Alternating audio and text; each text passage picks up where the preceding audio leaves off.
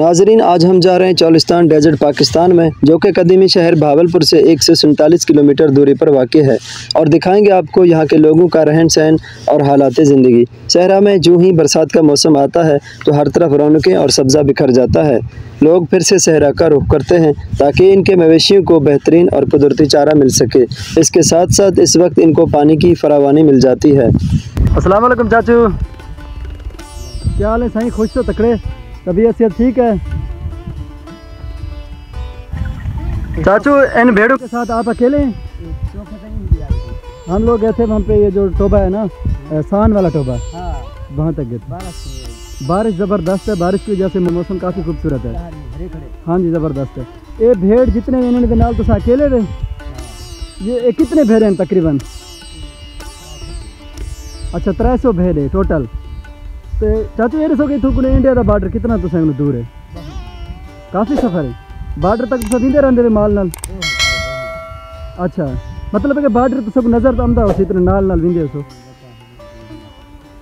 अच्छा हुन पानी का क्या हिसाब किताब है? टोबे ते क्या है? अच्छा। अच्छा। अच्छा माल का गुजारा थींदा पे घास आहे? अच्छा।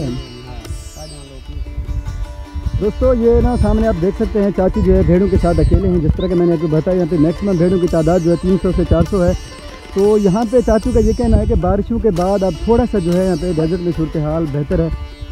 तो यहाँ पे चारे का जो निज़ाम है वो भी अब जो है काफ़ी हद तक जो है ठीक है गुजारा हो जाता है जानवरों का। सहरा में रहने वाले लोगों का सारा दारोमदार इनके पालतू जानवरों पर होता है।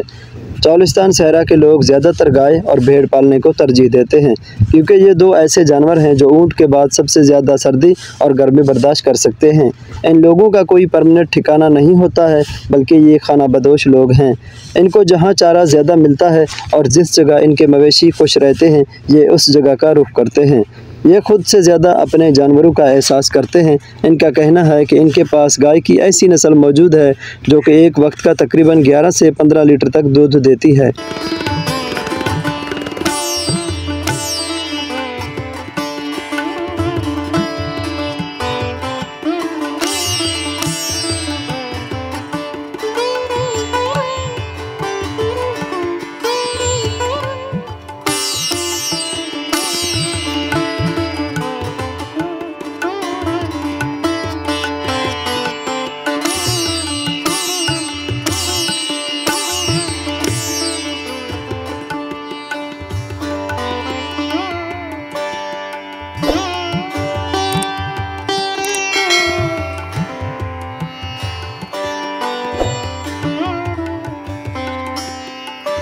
यानी कि अगर एक दिन का अंदाज़ा लगाया जाए तो 45 लीटर दूध बनता है, जिसकी कीमत तकरीबन एक नॉर्मल रेट के मुताबिक 6000 तक बनती है। इन लोगों के पास सैकड़ों की तादाद में गाय मौजूद हैं। इन लोगों का रहन सहन और हालात ज़िंदगी आज भी बहुत कदीमी है। ये लोग आज भी सादा गज़ा खाते हैं और इनका रहन सहन तो इंतहाई सादा और कदीमी है। ये लोग बनावटी चीज़ों को बिल्कुल भी पसंद नहीं करते और इनकी एक खासियत ये भी है कि ये इंतहाई मेहमान नवाज़ लोग हैं। जो हमेशा बाइखलाक लहजे में बात करते हैं।